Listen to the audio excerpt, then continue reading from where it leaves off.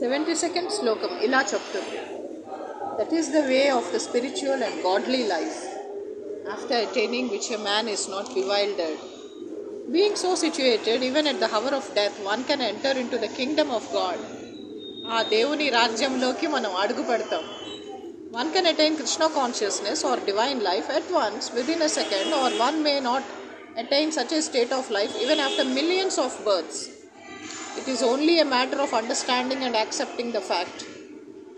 Maharaja attained this state of life just a few minutes before his death by surrendering into Krishna consciousness. Nirvana means ending the process of materialistic life.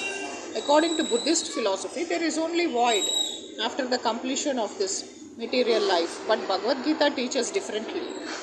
Bhagavad Gita is always different, like me. Actual life begins after the completion of the material life.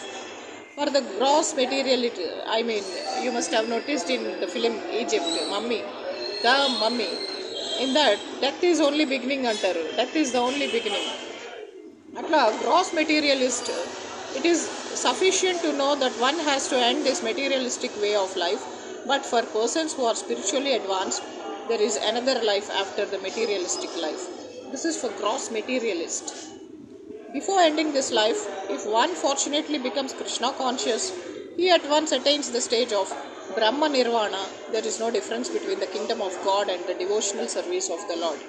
Since both of them are on the absolute plane, అది ఎలా అంటే ఎప్పుడీను ఎనాలజీను ఒకటే నవాలజీను and ఇంకా ఎనాలజెసిక్ tablets కూడా ఒకటే అలా Krishna consciousness God's Kingdom స్వర్గం అన్నీ ఒకటే So it depends on the devotional service to the Lord. Since both of them are on the absolute plane, to be engaged in the transcendental loving service of the Lord is to have attained the personal uh, maturity in stepping into the spiritual kingdom. In the material world, there are activities of sense gratification, whereas in the spiritual world, there are activities of Krishna consciousness. You must have noticed the Supreme Court issued a uh, judgment saying companionship is more authentic than marriage. Attainment of Krishna consciousness even during this life is immediate attainment of Brahman, and one who is situated in Krishna consciousness has certainly already entered into the kingdom of God. It depends on the personal maturity.